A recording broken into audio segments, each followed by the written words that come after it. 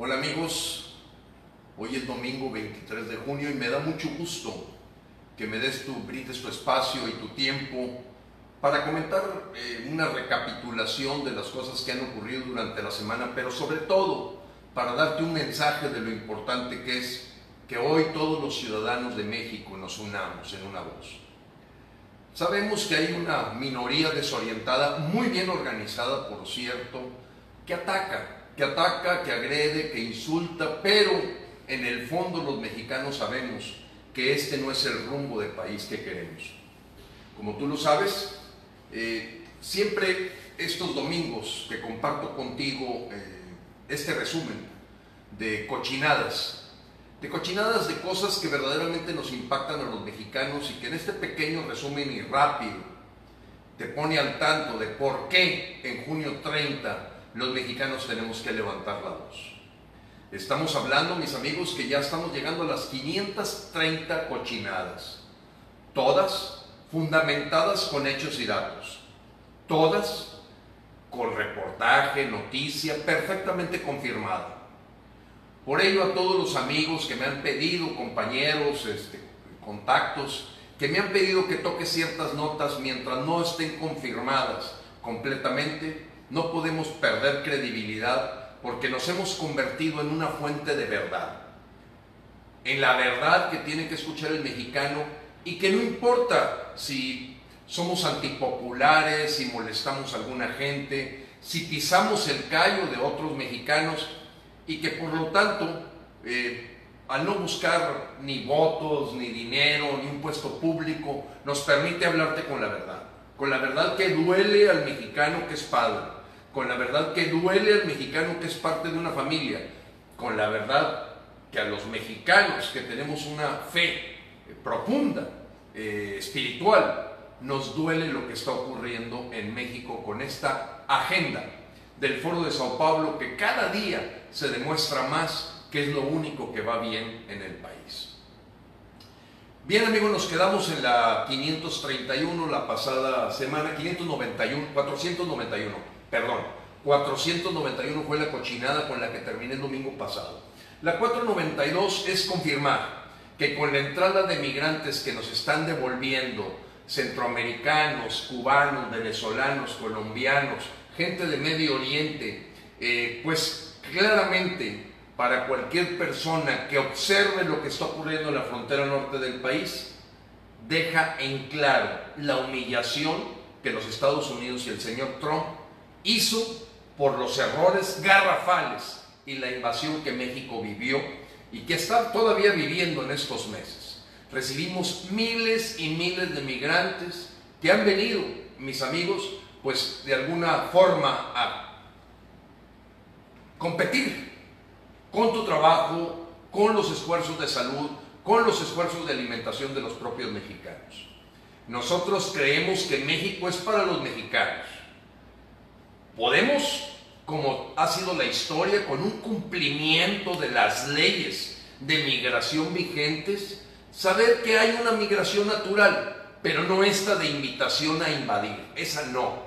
Esa no es, y bueno, se confirma durante la semana pasada, los miles que nos fueron devueltos de lo que va a ser una cifra probablemente mayor a 100 mil en las próximas semanas y nos hemos convertido ya en el excusado, en el traspatio de los Estados Unidos.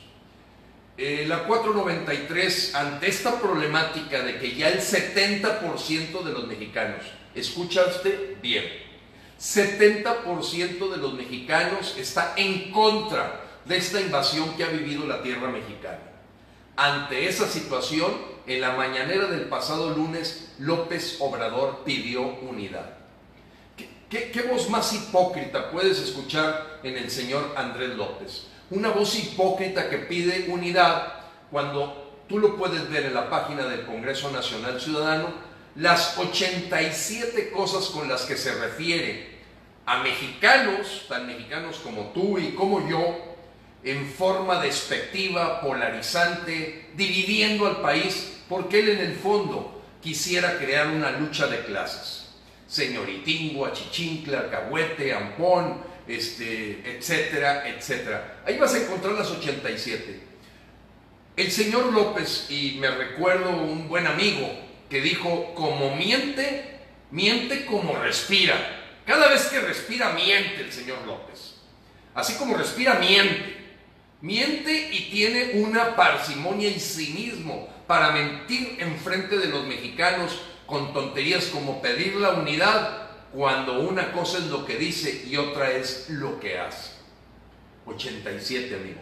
87 calificativos despectivos, insultantes, agresivos, discriminantes, que puedes ver tú uno por uno, como ha, es lo único que ha innovado en el lenguaje de un presidente, el señor López de Santana.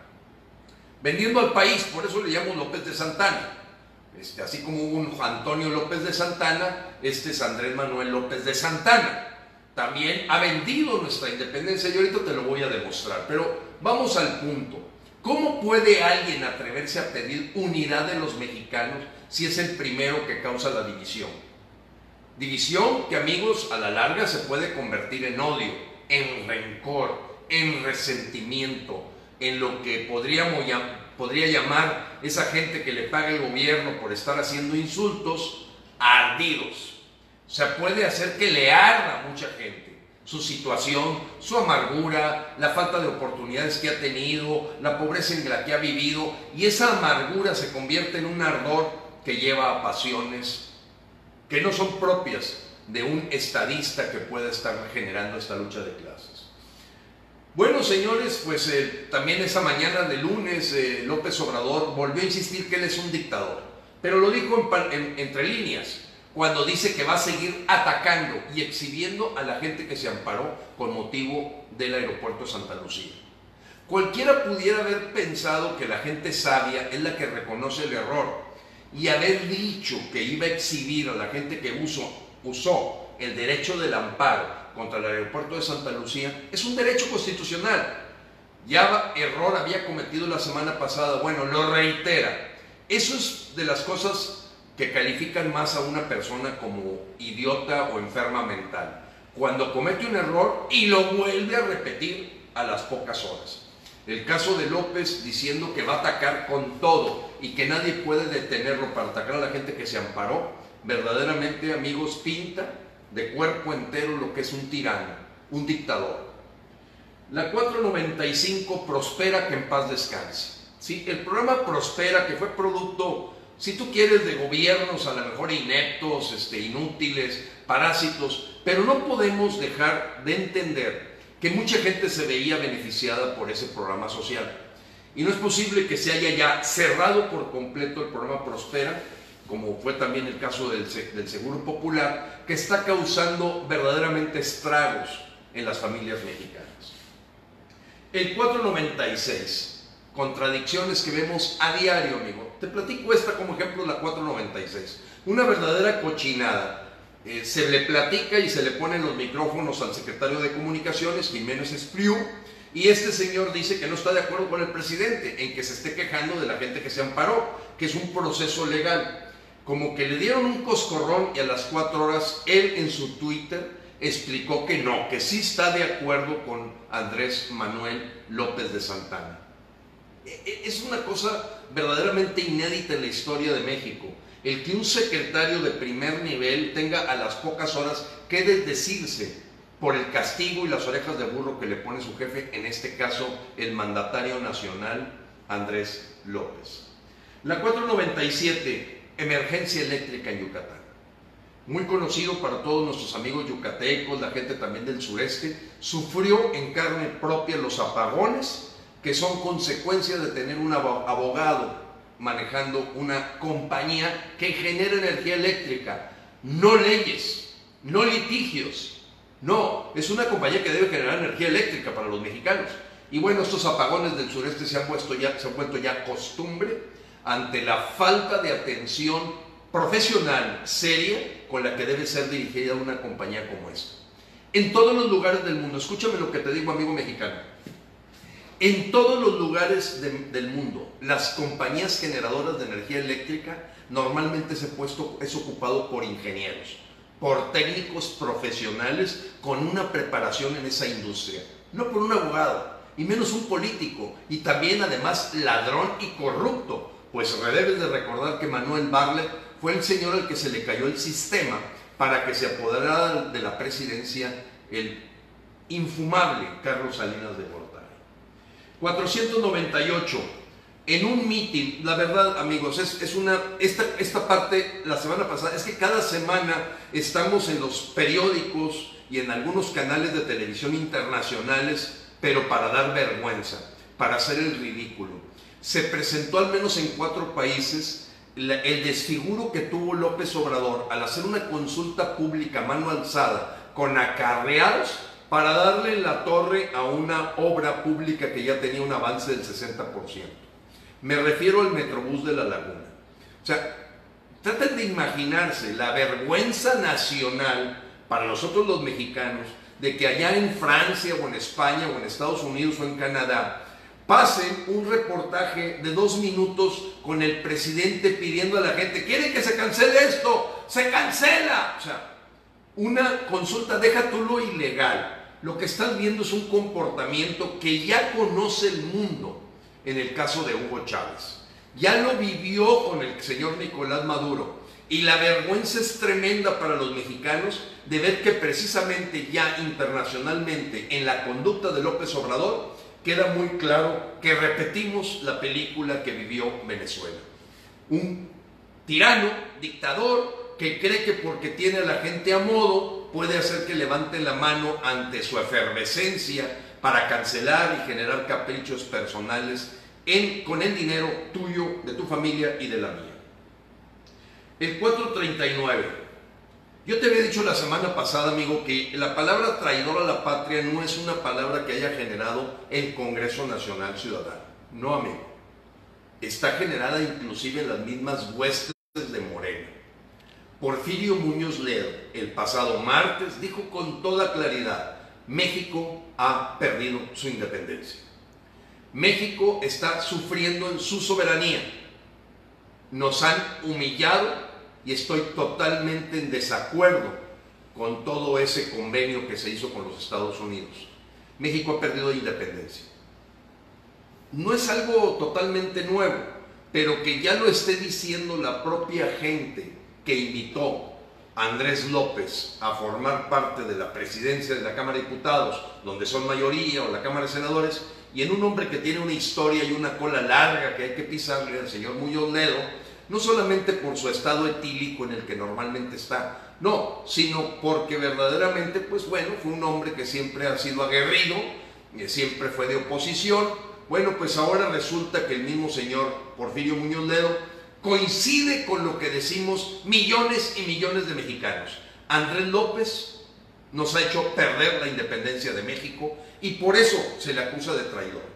Recuerda, amigo, en el Código Federal Penal, artículo 123, se tipifica con claridad y con precisión y en forma concreta qué es traición a la patria. Y en uno de sus párrafos menciona que cuando pones en riesgo la soberanía, la integridad y la independencia del pueblo mexicano, ya no tengas duda, se le llama traidor a México.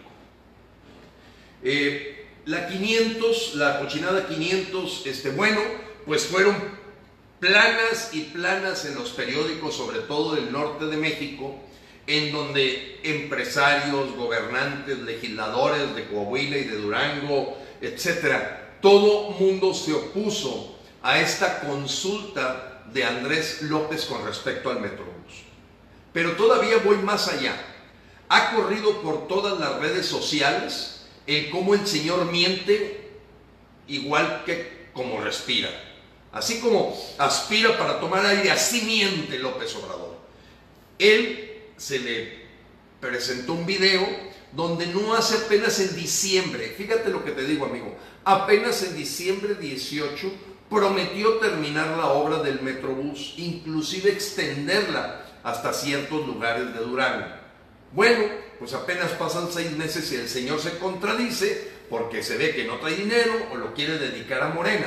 Recuérdate, Morena recibe 177 mil pesos por hora. No te vayas a equivocar. Cada hora él está llevándose 177 mil pesos. Por mucho que venda la casa que está presidencial de aquí o deje de usar los pinos, todo eso vale sorbete. El dineral está en la cantidad de dinero que recibe Morena cada hora y que de esa nunca se habla en las mañaneras. Pero bueno, amigo, estas páginas y además las redes sociales nos ayudaron a comprobar el cómo el Señor miente igual que cuando respira. O sea, dice una cosa y a los seis meses ahora se contradice por completo, habiendo puesto eh, a una votación patito eh, la consolidación, confirmación y terminación del proyecto del Metrobús. Yo no estoy defendiendo el Metrobús ni estoy en contra del Metrobús. No nos malinterpretes, sino que como Congreso Nacional Ciudadano, al ser el jefe, al ser el patrón, al ser el mandante constitucional, vemos un empleado que no da pie con bola, que estaría ponchado. Si estuviera en un juego de béisbol es ponche tras ponche tras ponche.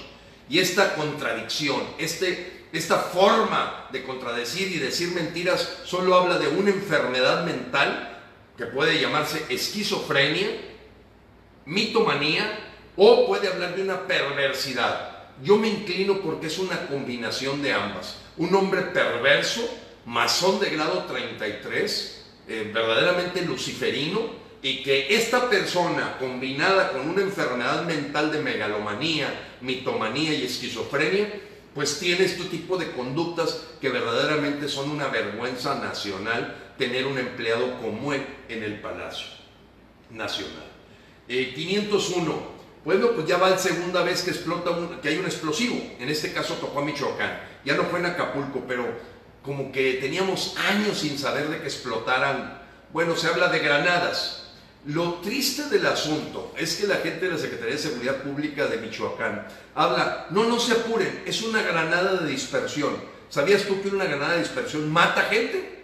O sea, como que porque lo catalogan en una cierta eh, diferencia en armamento, ya creen que resuelven el asunto ni se ha encontrado a los culpables, no se sabe si fueron colombianos, hondureños, guatemaltecos, gente del ISIS, gente de la Mara Salvatrucha, venezolano, no sabemos a este momento. Lo que sí sabemos es que es una granada de dispersión. Hazme el refavor, cabrón. Pero bueno, vamos a la siguiente, amigo. 503, este es importante, amigo. La 503 es una cochinada mayúscula. Tuve oportunidad de que me entrevistaran a nivel nacional sobre el caso de Fertinal. Como tú sabes, ahorita en la Corte de los Estados Unidos, el Departamento de Justicia, están denunciando por el impacto que tiene en la Bolsa de Valores de Nueva York los bonos de Pemex, el caso de la venta corrupta de Fertinal. ¿Qué es la venta corrupta de Fertinal? Bueno, que en el año 2015 se compró una compañía, una empresa por parte de Pemex seis veces más cara de lo que realmente valía. Una empresa deteriorada, totalmente quebrada, con pasivos tremendos, y se le entregan 635 millones de dólares. Supuestamente, el Departamento y la Corte de los Estados Unidos ven entre los señalados en esa acusación. ¿Por qué? Porque la Securities Exchange Commission, que es la, hagan de cuenta como la Comisión Nacional de Bancaria y de Valores en México, revisa que protege y regula que aquella gente que compra un bono en la Bolsa de Valores de Nueva York no se vea defraudado. Y en este caso, la gente que ha comprado bonos de Pemex o papel, papel de financiamiento de crédito de Pemex, pues lógicamente se va a ver golpeado a la hora que encuentran un fraude como este. ¿Quiénes son los beneficiarios de este fraude? Pues miembros del Consejo Asesor Presidencial de López Obrador. Sí. Me refiero a Ricardo Salinas Pliego, el dueño de TV Azteca, el dueño de Electra. Está señalado como uno de los dueños del fideicomiso, que fue el que le vendió a Pemex una compañía que vale 70 millones de dólares en 635 millones de dólares. Claro que para eso tuvo que haber una colusión con gente del gobierno. Emilio Lozoya, Pedro Joaquín Codwell y no se diga el señor Peña Nieto. Lo que te quiero explicar, amigos, es que la mafia del poder continúa. O sea, el señor Salinas Pliego, que se vio beneficiado con esa operación fraudulenta, está hoy en el Consejo Asesor Presidencial de López Obrador. Y no solo eso, su empleado, que todavía creo que cobra algunos beneficios en TV Azteca o en el grupo, de, el grupo Azteca de Salinas Pliego, se llama Esteban Moctezuma Barragán, secretario de Educación Pública. Sí, él fue el que manejaba ahí la Fundación Azteca, es empleado de Ricardo Salinas Pliego, y aquí tú que lo, lo que puedes ver es que son los mismos. No más que ahora, antes estaban con Peña Nieto, ahora López Obrador los invitó. Son los mismos.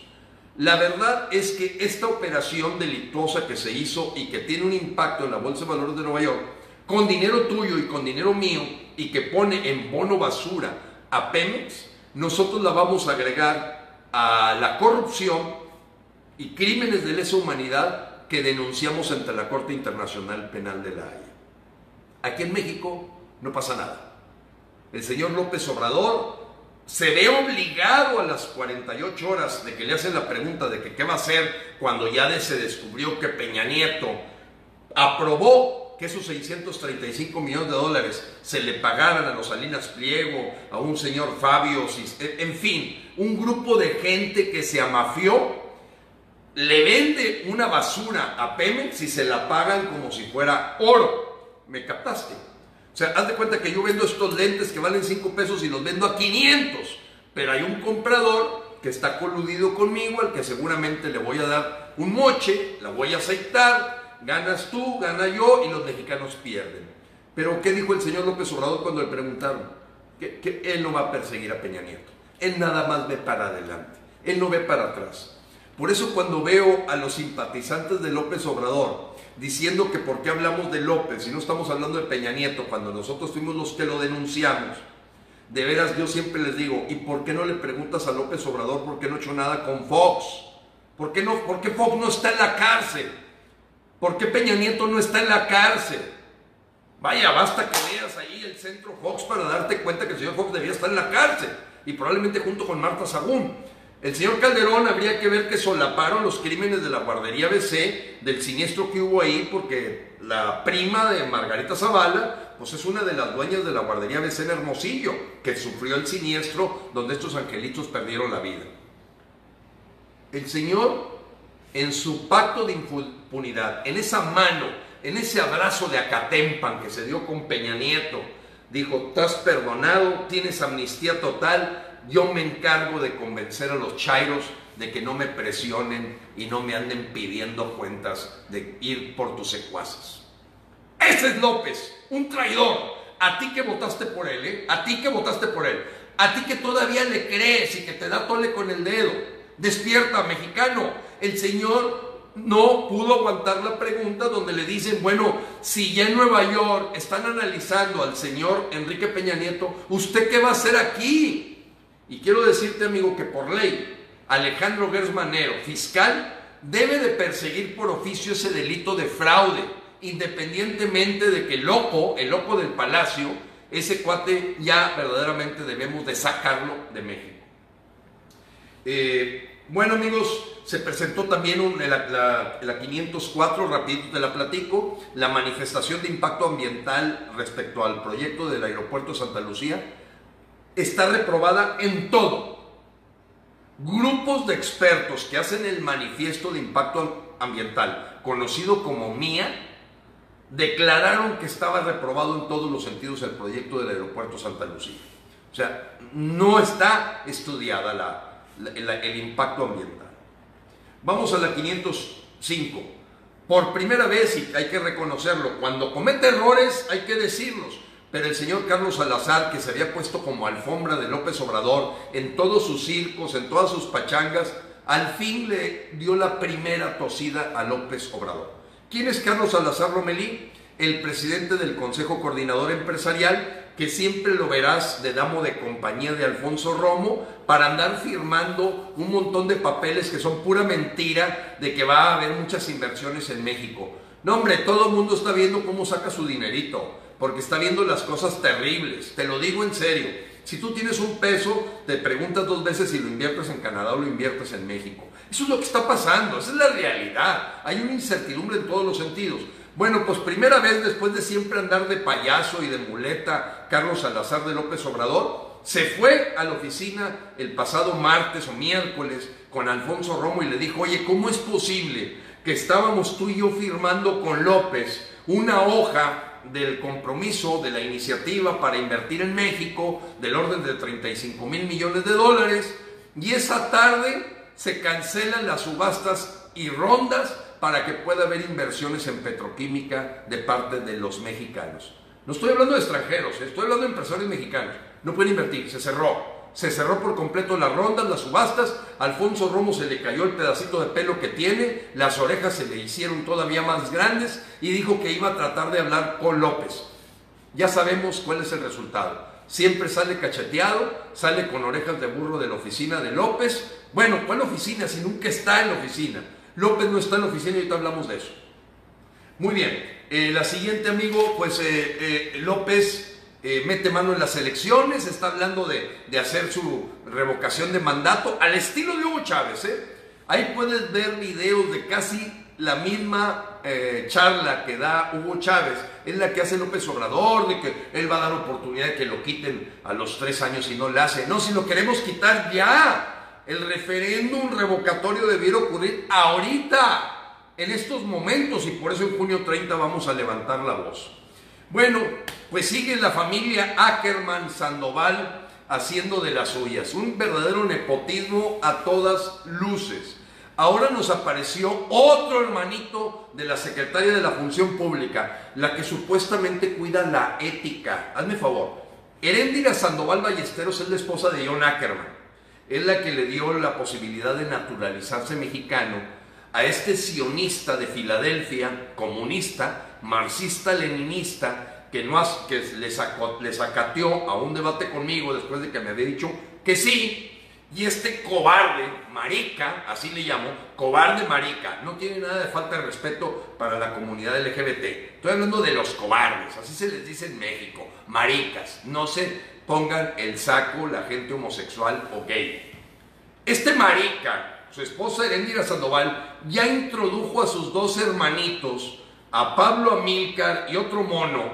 Uno de ellos está en la Defensoría Pública, que, ha hecho un mugrero.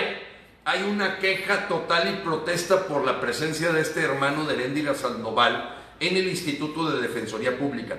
Pero ahora nos apareció otro chango en Guerrero, de nombre Pablo Amílcar también, Sandoval Ballestero. Para que veas el nepotismo es repartir chamba en la familia. Pues este tipo se hace llamar licenciado en economía.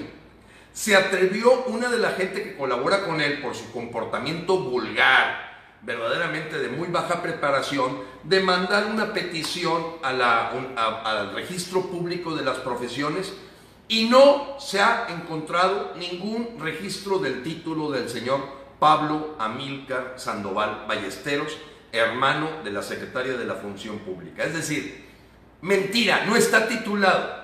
Es bien simple, no está titulado. Pero ellos se inventan carreras y se inventan maestrías inexistentes porque esa es la gente de, la cuarta.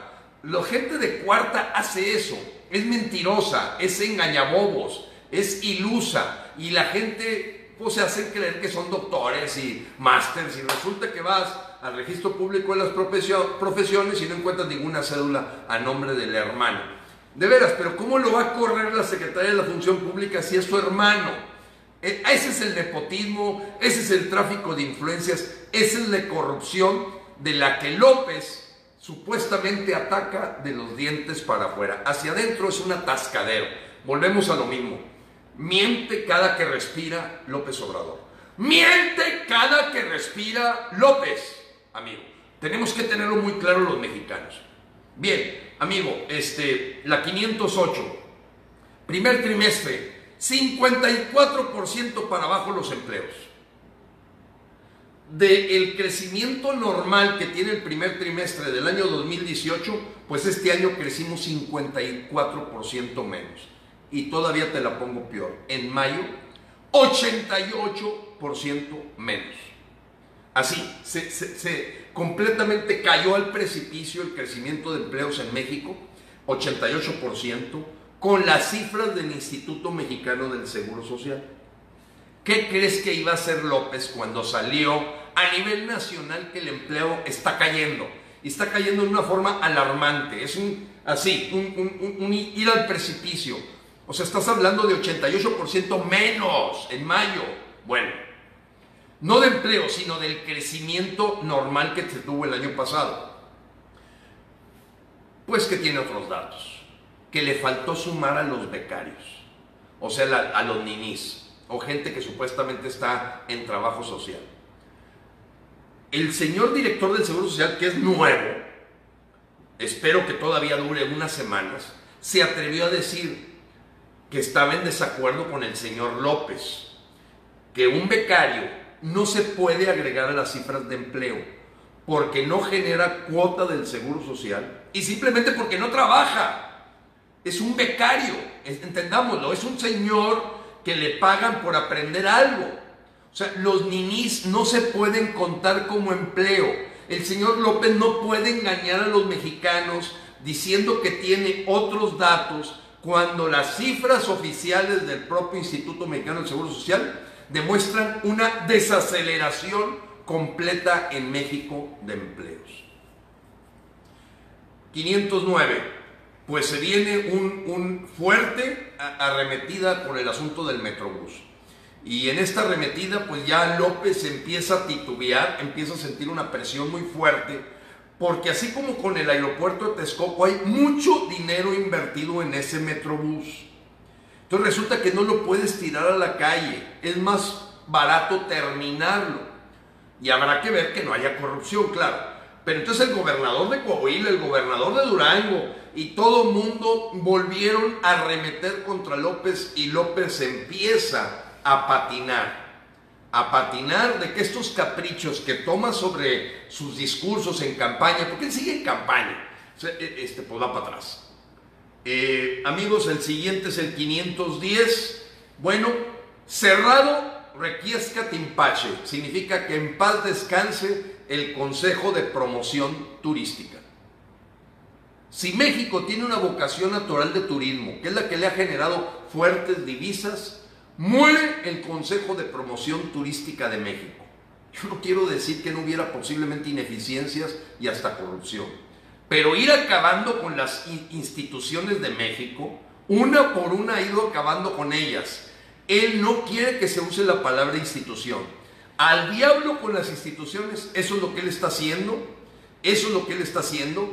Modificó, porque al diablo las instituciones fue de hace siete años, y ahorita en los hechos eso es lo que él está haciendo, acabando con todas las instituciones mexicanas.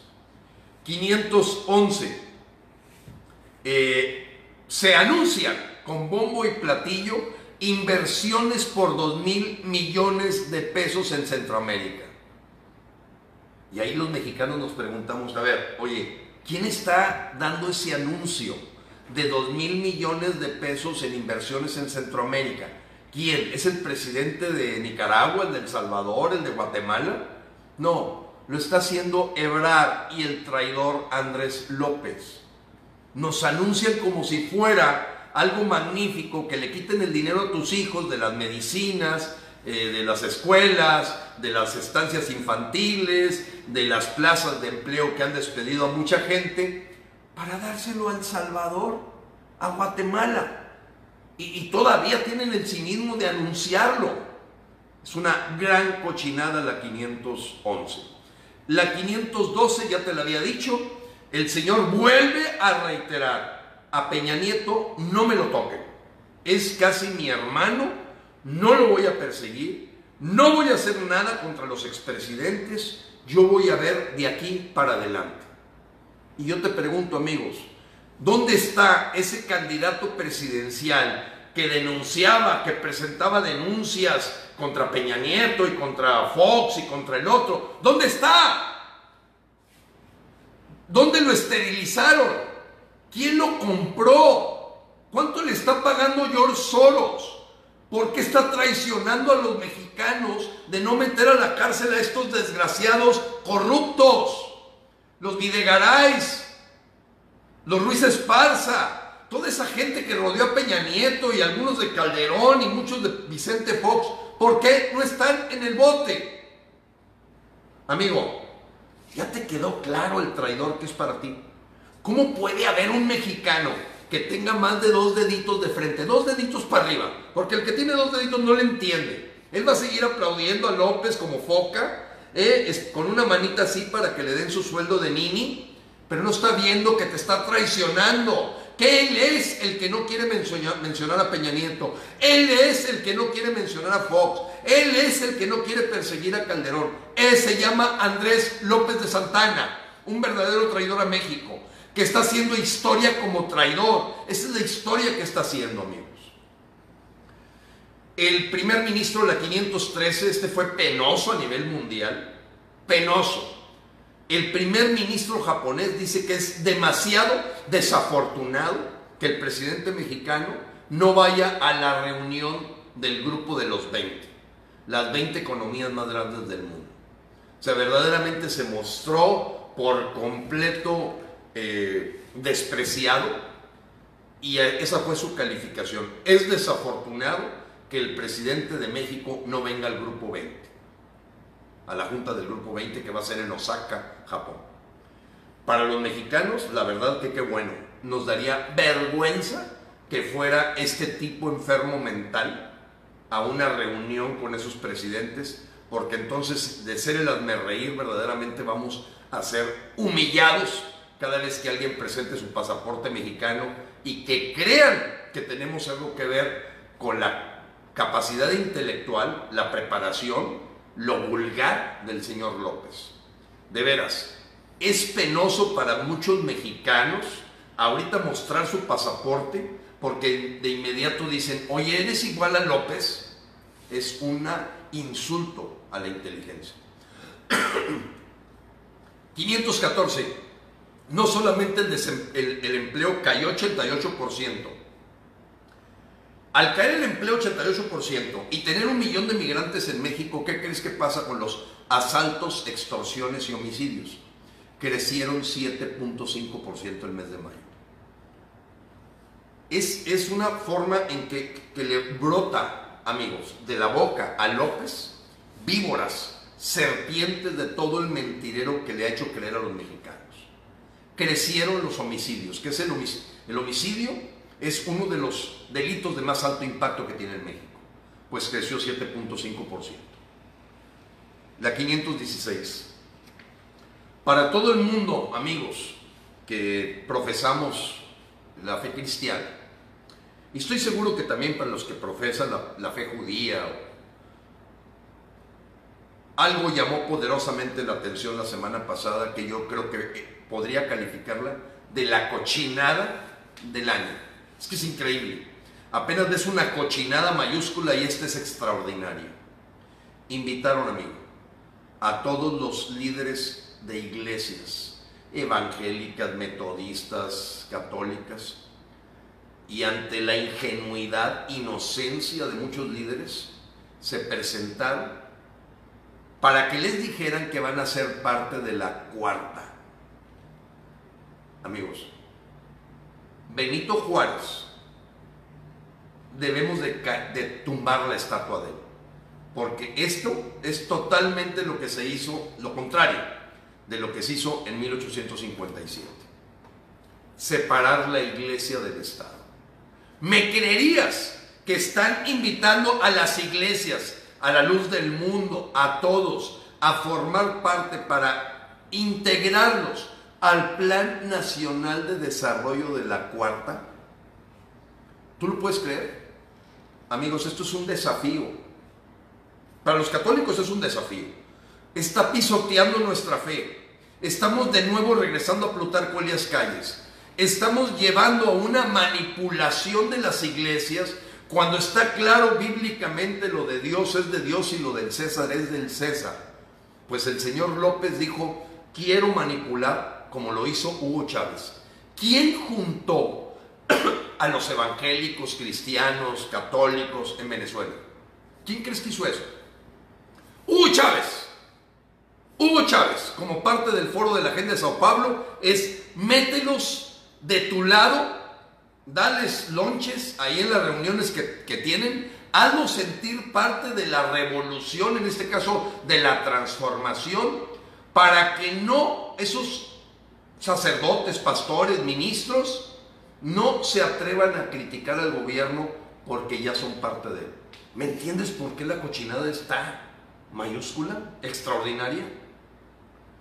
¿Cómo? ¿Dónde están los cardenales, los obispos, los eh, eh, ministros de primer nivel de las iglesias? O sea, perdidos, asustados, acobardados, acojonados. Y ahora están manipulados y ya son de cuarta también. La 518, amigos, eh, bueno, pues le entregan al Bukele, presidente de El Salvador, le mandan avión de una compañía mexicana se lo traen aquí y aquí le entregan 600 millones de pesos. ¿Qué harías tú si fueras el presidente de otro país y te entregan 600 millones de pesos de los mexicanos? Pues lo menos que puedes hacer es aplaudirle al López de Santana, al, de López de Santana, eh, pues ese asunto. En este caso, pues hasta bromeó, jugueteó, este, jugueteó, eh, jugueteó. Permíteme, permítanme un segundo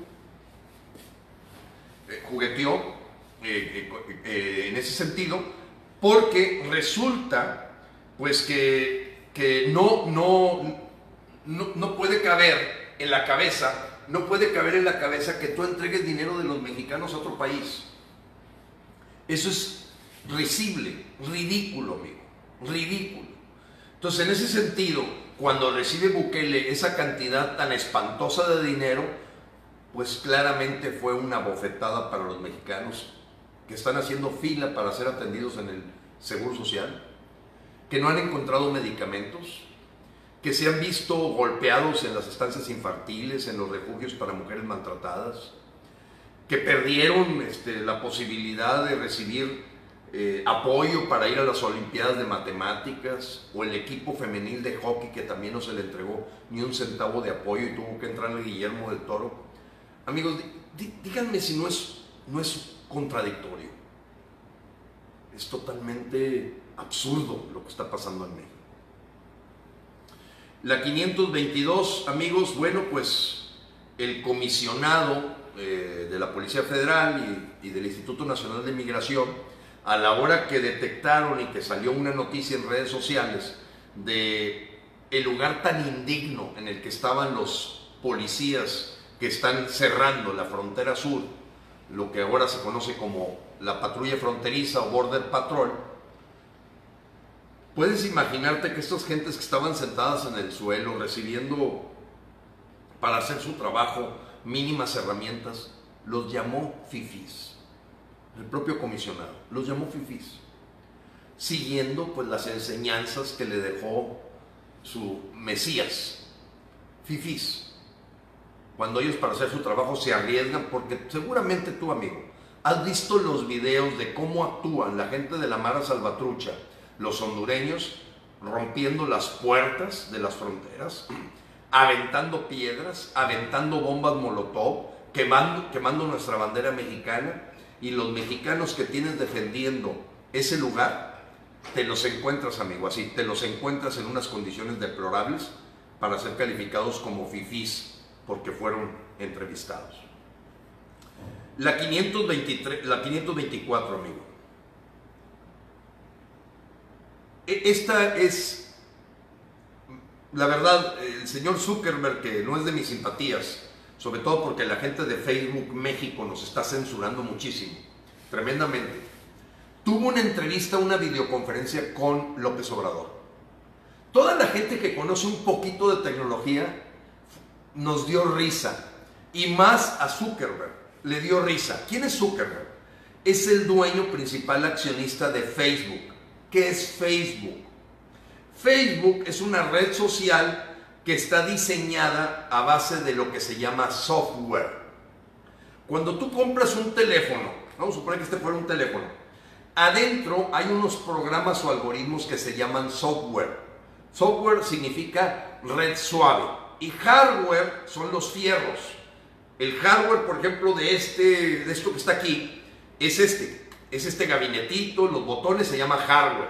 El hardware en la tecnología de, de correos electrónicos, pues son las antenas, son las conexiones de, fibra óptica, son los receptores, eso es el hardware, hardware, o sea, las cosas duras. Hard significa duro.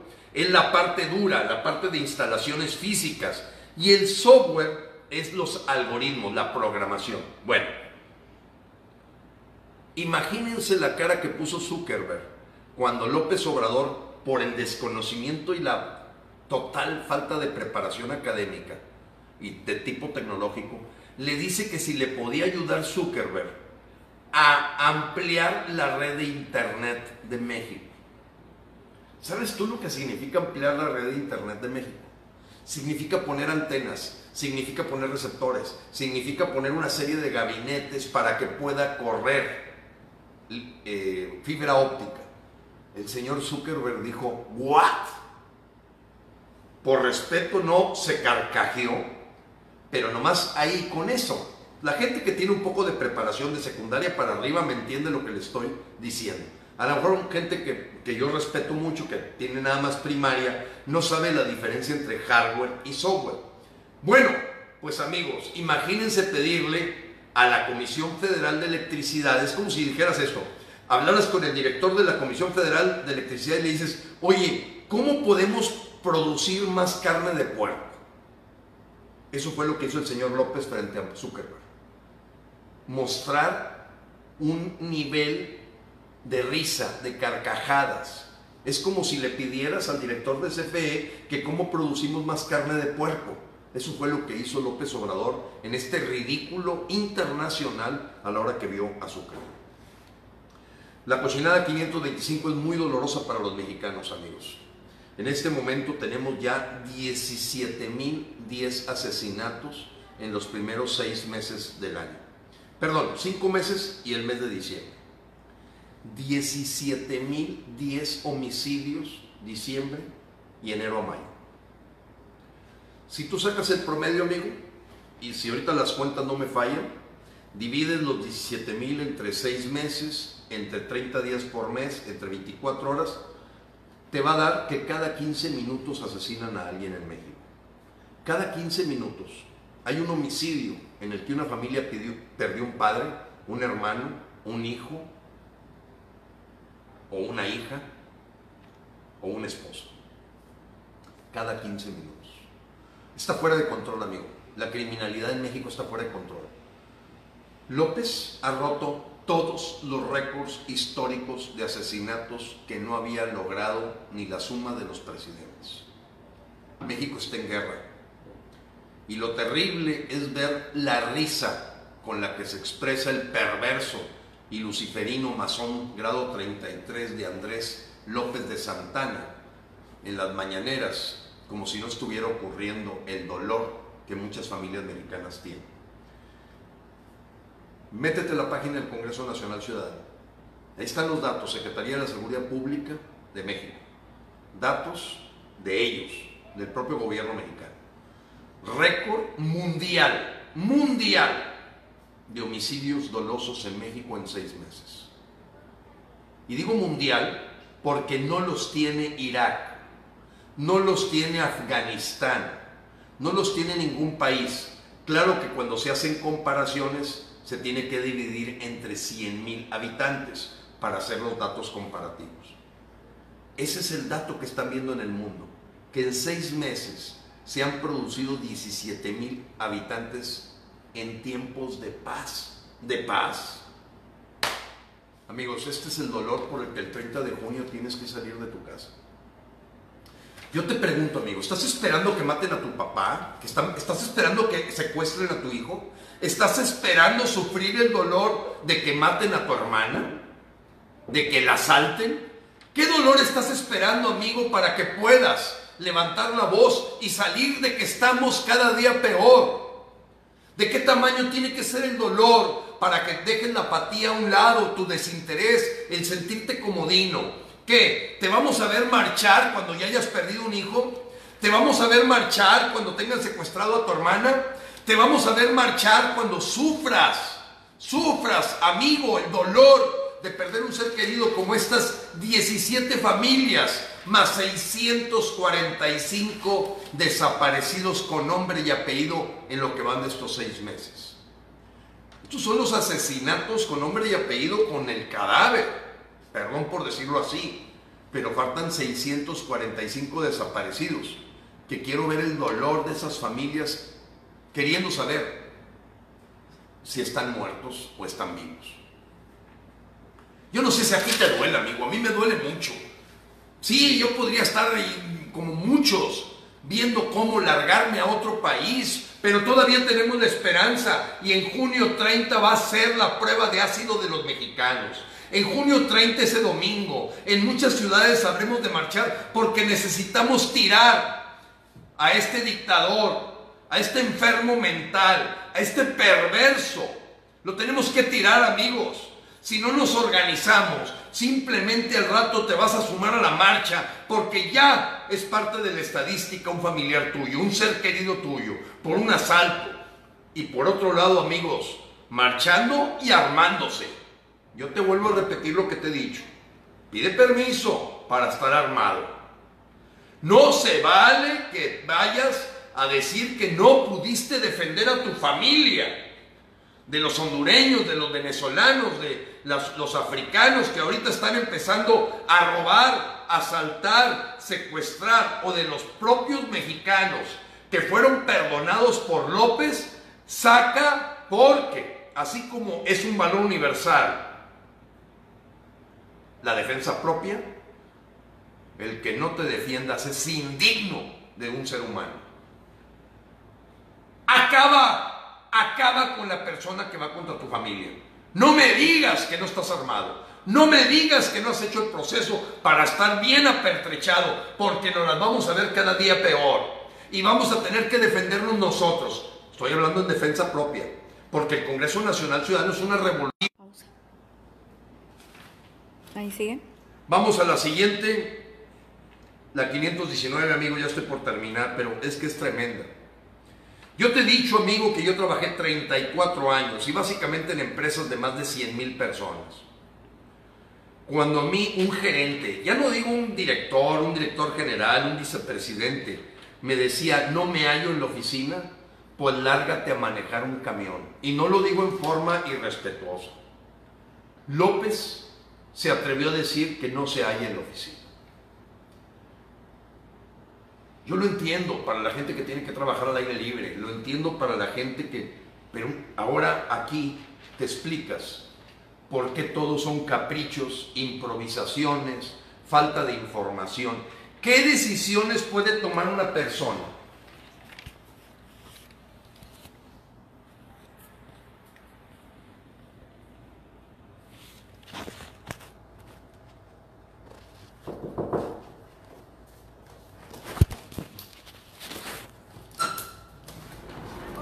¿Qué decisiones puede tomar una persona, amigo? Eh, ¿Qué decisiones? Nomás trata de imaginarte. ¿Qué decisiones puede tomar una persona que no está en una oficina analizando los datos? Que no está viendo con su gente las decisiones que hay que tomar. Que no está decidiendo en conjunto y en colaboración con su equipo de trabajo, amigo. ¿Qué es lo que está sucediendo? ¿Qué es lo que está pasando? Si a mí un gerente, ya no te digo un jefe de departamento, un jefe de departamento, gerente, director, me dijera, es que no me hallo en la oficina, pues lárguese de aquí. Su trabajo es la toma de decisiones, es ver los planes, las políticas públicas, los presupuestos, los números de seguridad, los números de la economía, entender qué está pasando con, los, con las empresas en su generación, generación de empleos, entender qué está pasando con la inversión extranjera, entender qué está pasando con el turismo. Eso no lo haces arriba de un avión, amigo. Mucho menos lo haces diciendo no me hallo en la oficina. Pues lárgate, lárgate a operar uno de los vagones del metro, pero no nos estés destrozando a México. No me hallo en la oficina. Verdaderamente, amigo, esta cochinada es terrible para los mexicanos, porque te pinta de cuerpo entero de por qué este esquizofrénico está acabando con el país. Si una persona no se puede detener tres, cuatro, cinco horas al día a pensar, él no está pensando. Y la gente de la que se rodeó, si él es de cuarta, son de quinta. Por eso vemos detenidas completamente las inversiones en México. Por eso vemos los errores como la termoeléctrica en Morelos, el error tras error, capricho, tontería, porque el Señor, Él dice, yo me entiendo en el pueblo. ¿Haciendo qué? Propaganda política, haciendo campaña, apostándole al hambre de los mexicanos, a la ignorancia, donde eres capaz con un lonche acarrear gente para que te alabe y te sientas caudillo, mesías, pero eres un dictador. Un dictador porque es lo único que puede hacer. Ya estamos en el siglo XXI. Y en el siglo XXI tú no puedes tomar decisiones si no analizas las cosas.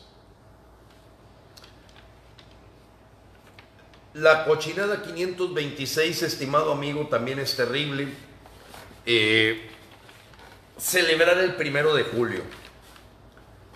Como si no fuera suficiente todas las tonterías que ha cometido. Además las va a celebrar.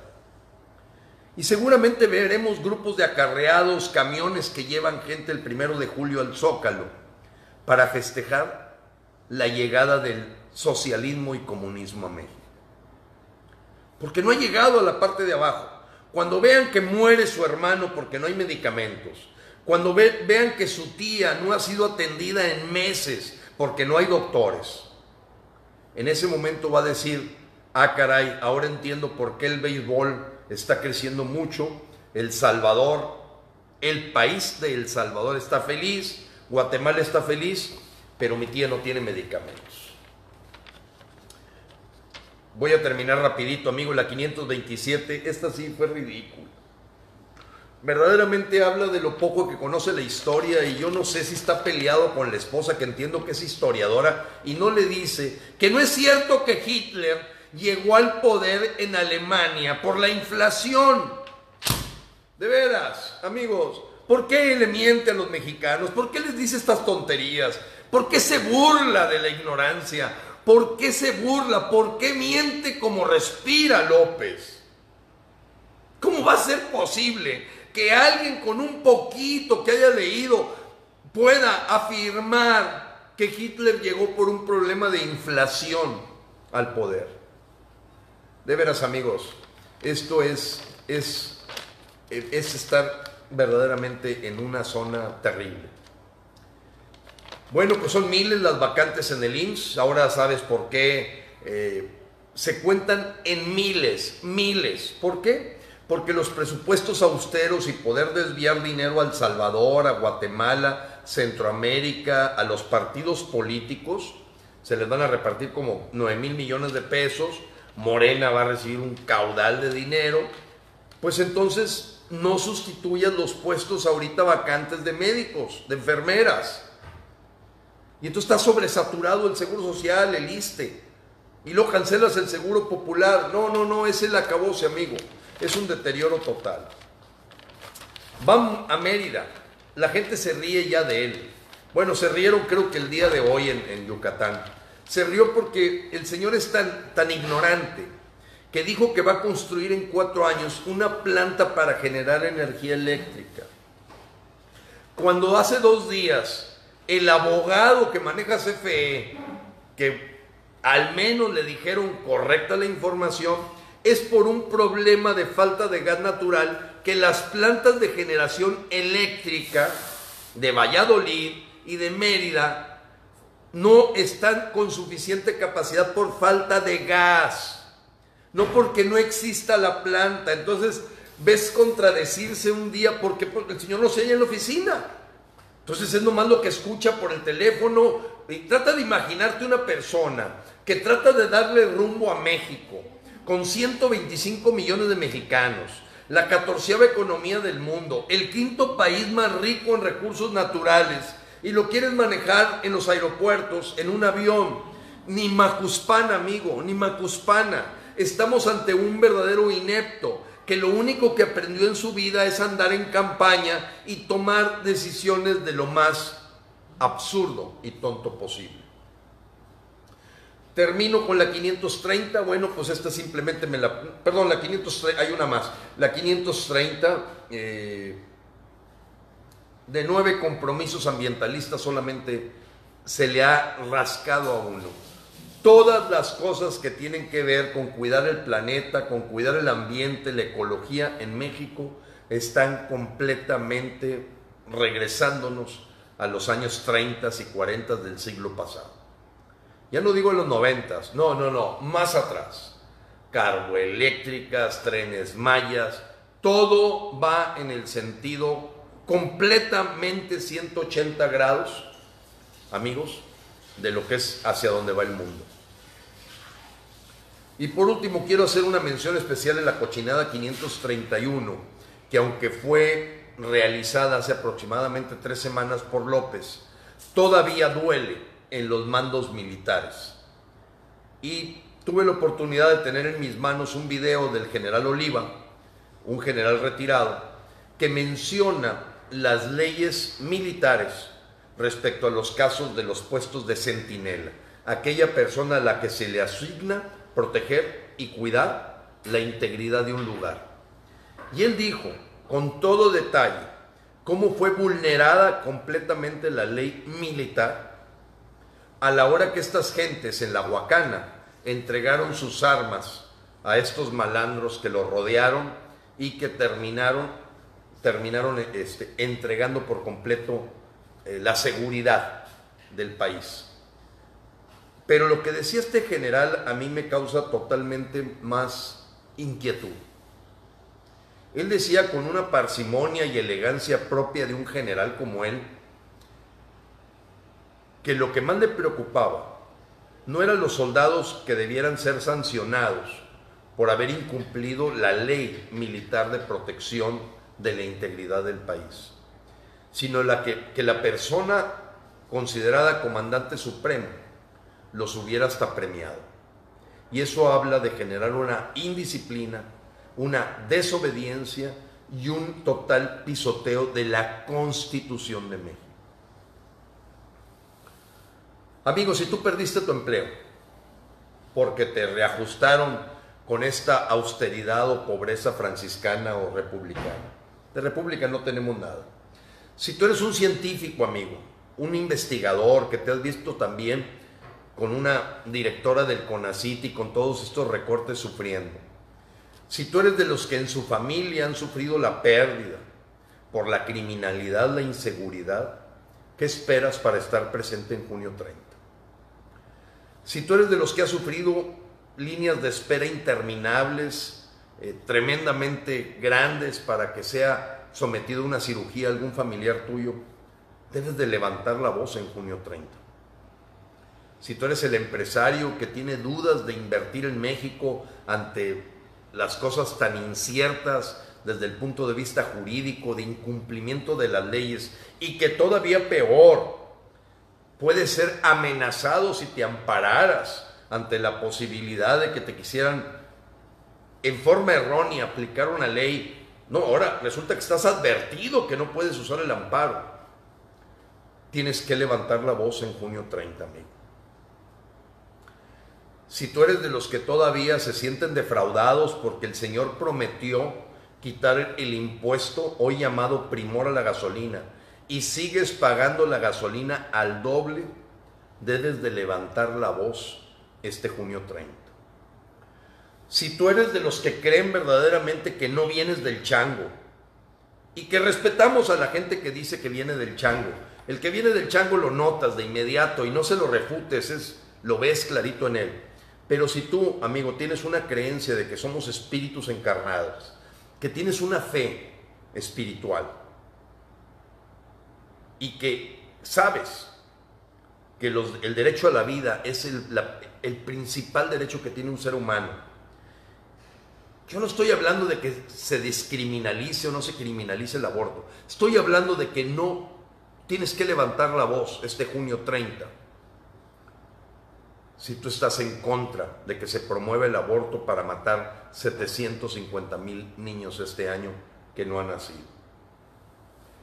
Si tú, amigo, te sientes indignado, te sientes verdaderamente traicionado, eh, porque los malandros andan como Juan por su casa, porque no sabes si tu familia, tus hijos, tus padres salen a la calle y si podrán regresar por esta cantidad de asesinatos tan espantosa que tiene México, en donde los capos están perdonados, los criminales andan en amnistía total, en borrón y cuenta nueva, tienes que salir en junio 30 a la calle, amigo.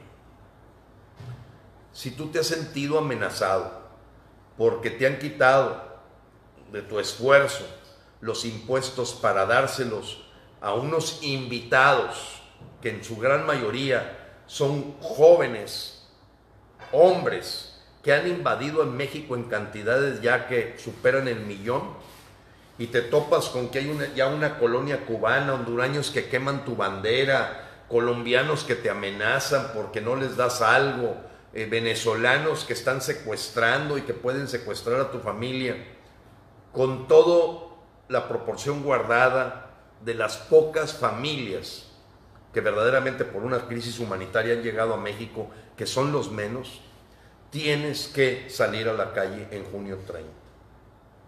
Si tú eres amigo, un amante de la Constitución, la Carta Magna, que es la que le da una composición social a nuestro, que es el contrato social de los mexicanos, y lo ves pisoteado día a día porque estas gentes han permitido vulnerar la independencia, la soberanía y la integridad del pueblo de México con invasiones, con dinero de saqueo que están haciendo del dinero de los mexicanos, siguiendo agendas de organismos externos como las masonerías, el señor George Soros, la ONU, la agenda del Foro de Sao Paulo, tienes que levantar la voz en junio 30.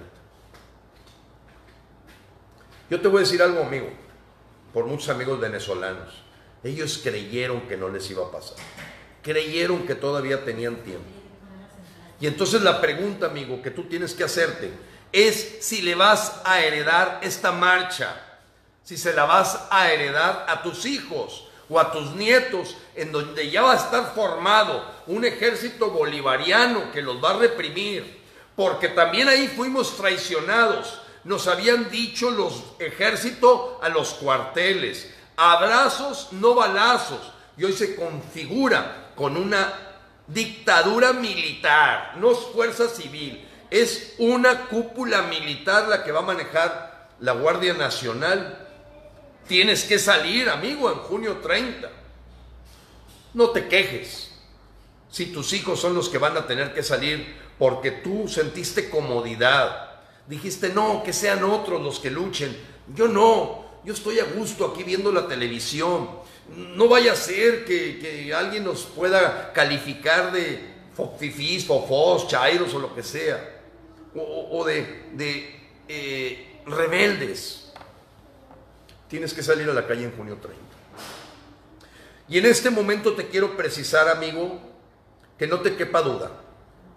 Fuera Vicente Fox de nuestras marchas. Nadie lo invitó y no lo queremos en nuestras marchas. Fuera Felipe Calderón, ni se le ocurra pararse en nuestras marchas para hacer proselitismo. No queremos a Vicente Fox. Así de claro, el Congreso Nacional Ciudadano no quiere políticos de ningún color. Que quede claro, amigos.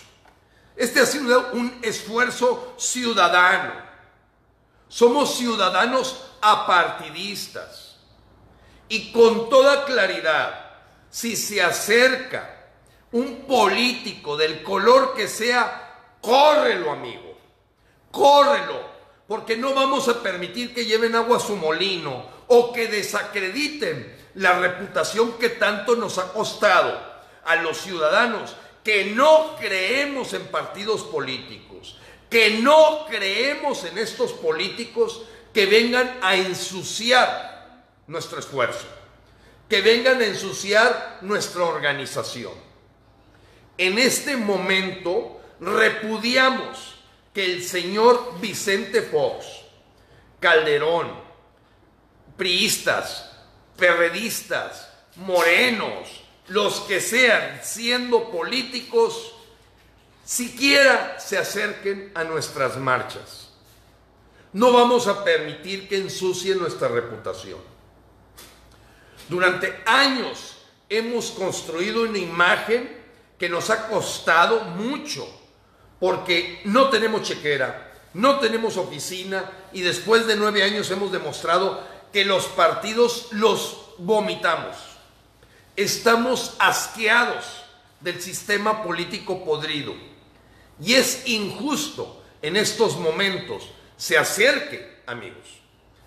Es, mi nieta que aquí se anda acercando. Este, amigos, tenemos que correrlos. No los queremos ahí. Nos estorban. Estorban porque ellos fueron parte ya de este sistema podrido. Porque se tapan con la misma cobija porque aparentemente quieren aparecer como contrarios y como enemigos, pero hasta le piden escoltas al Andrés López de Santana. Así de claro. No te confundas, que no te hagan bolas. Nosotros lo mismo repudiamos a los azules que a los rojos, los amarillos, los verdes y los que están por formarse porque no son más que parásitos. El día que le quiten el dinero de los mexicanos y que ya no se le entreguen a los partidos políticos, que haya el millón de partidos que quieran. Con las uñas de ellos se rasquen. No con mi dinero, no con tu dinero. Así de claro, amigo. Y no estamos aquí manejando ningún insulto o agresión, simplemente clarificando.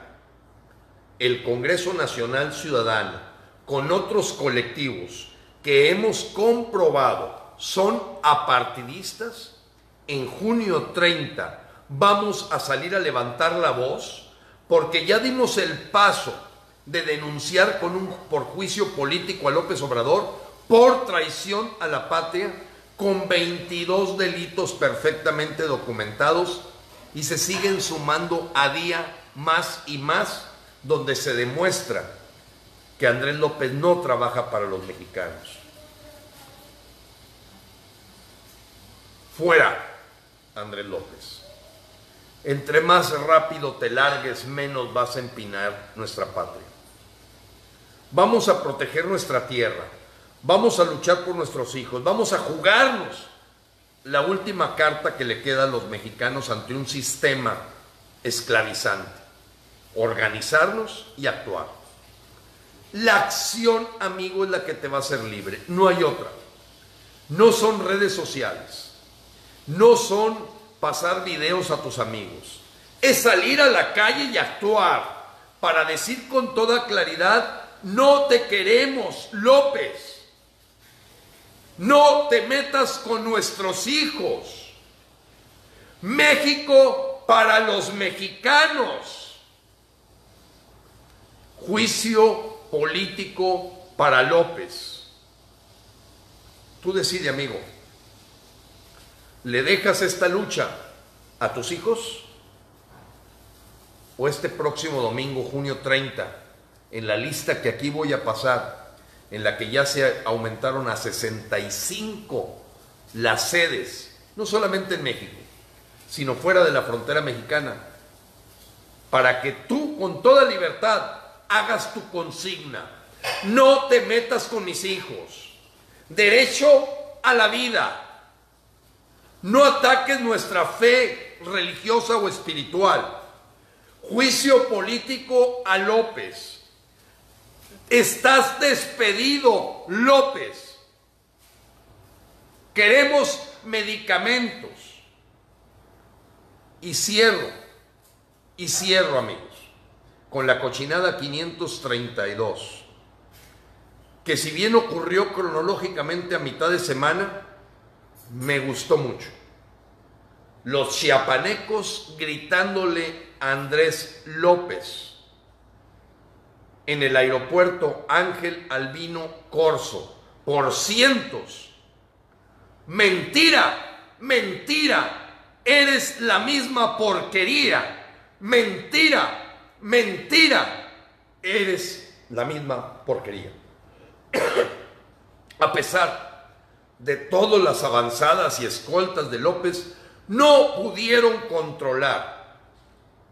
Y probablemente estoy equivocado. No fue en el aeropuerto Ángel Albino Corso. Esto fue en Tapachula. Perdón, fue en Tapachula. Y ahí voy a poner el video. en la página del Congreso Nacional Ciudadano, para que oigan lo que le gritaron en su cara y que no se atrevió a bajar de la suburban de lujo que traía, porque no fue capaz de controlar todos sus guardias, todos sus guardaespaldas y toda su cónclave de Rutilo Escandol, los cientos de tapachultecos que levantaron la voz y dijeron, mentira, mentira, eres la misma porquería. Andrés López es un traidor, es un tirano y dictador perverso. Yo me atrevo a decir, amigo, que nuestra lucha tiene tintes espirituales de una lucha del bien contra el mal. Y como decía Martin Luther King, no me preocupan los malos, luciferinos, satánicos, chamánicos y que andan ahí en las logias. Lo que me aterroriza es que los buenos no salgan en junio 30 y levanten la voz. Porque entonces estamos destinados a estar viviendo lo que hoy Venezuela vive, que son los hijos de los que no tomaron las decisiones y actuaron en su tiempo. Les están dejando la sangre, el costo de sangre, de escasez, de pérdida. Porque tú lo sabes, amigo. Andrés López sigue la agenda del Foro de Sao Paulo. Está confirmado, está evidenciado, se tiene muy claro. Él es un amante socialista comunista. Hay una persona que me preguntaba, es que cuál es la diferencia. El socialismo es esto que está haciendo López. Cuando empiezan a expropiar la propiedad privada, se convierte en comunismo. Hoy se hace más atractivo no trabajar que trabajar. Tú decides, amigo. Esta decisión es tuya, es propia. Nadie te va a ir a sacar a tu casa y te va a estar presionando para que salgas a levantar la voz. Y creo que este junio 30 nos va, a mi modo de ver, nos va a fotografiar el México que nos merecemos. Va a pintarlo de cuerpo entero nos va a decir si lo que tenemos es lo que merecemos, así de sencillo. Y ya a lo mejor la siguiente generación le tocará defenderse. Y algunos tendremos que tomar, tendremos que tomar decisiones de si continuar en esta lucha, porque la censura tú la conoces, amigo. La censura en Facebook es la que no te permite compartir mi video. Y empieza a haber censuras, cancelaciones en todos lados de las pocas fuentes.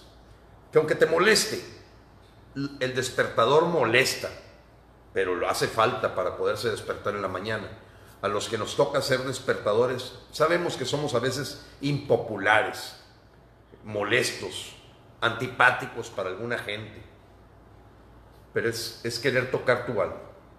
Querer tocar tu alma y no tu razón. Tu alma, que es la que te debe de decir que México, con esto cierro, México hoy se está constituyendo en el país que puede ser ejemplo mundial para que no avance la agenda del anticristo globalizador y ateo.